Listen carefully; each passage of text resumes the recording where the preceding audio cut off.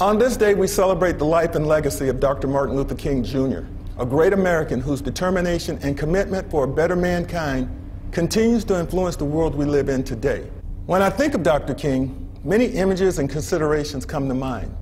I think about his selflessness and what it must have been like in a 1950s America for a college graduate who would normally seek a path to success for self benefit to instead decide that the basic civil rights denied people who looked like himself in this country were not only unjust, but also inhumane. Then, to have the audacity to challenge a system equally as determined to maintain the status quo with laws that supported such atrocities must have been unimaginable during that time in history.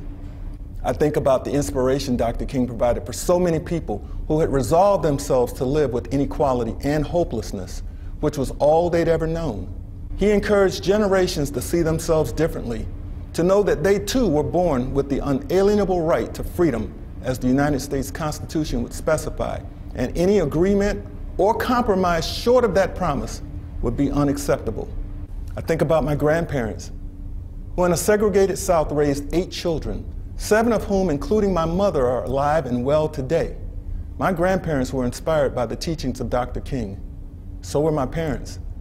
As early as I can remember, they instilled in me a belief that I could be whatever I wanted, despite living in a society that would suggest otherwise. I remember as a child being confronted with separate drinking fountains based on race in my birth state of Florida. My parents directed me to drink from neither, I soon realized the purpose of their instructions were twofold.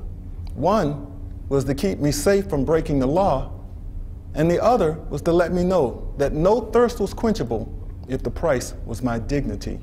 I think of Dr. King's courage in the face of untold dangers with each protest march for justice and each arrest along with its impending incarceration. There was much resistance to the ideals for change sought by Dr. King, and by the early 1960s, he realized that a long life would not be his to enjoy. This threat didn't stop him. It only furthered his resolve, knowing that much still needed to be accomplished if his dream was to ever fully be recognized.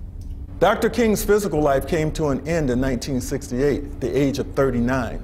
But the courage, selflessness, and inspiration of his teachings have endured in the 50 years since.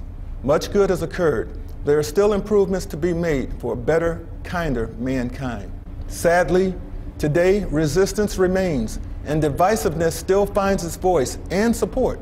But we must all find ways to do our part, no matter how small, to make sure that we sustain the progress towards equality that started with Dr. King. Dr. King once said, We must learn to live together as brothers or perish together as fools. My brothers and sisters, there's nothing fake about that. Thank you, Dr. Martin Luther King Jr.